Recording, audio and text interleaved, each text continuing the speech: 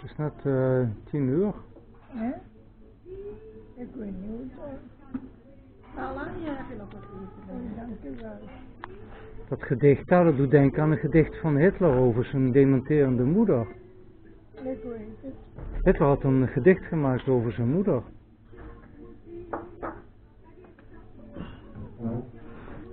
Is heel raar dat je, als je zoiets leest van iemand, eerder Hitler. nou ja, je? nog altijd. Moest hij in een aparte